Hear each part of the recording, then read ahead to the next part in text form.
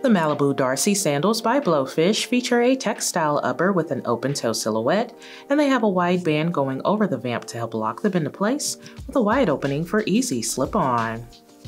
The band has a puff design for added comfort with an all over basket weave design, giving you a cute poolside look.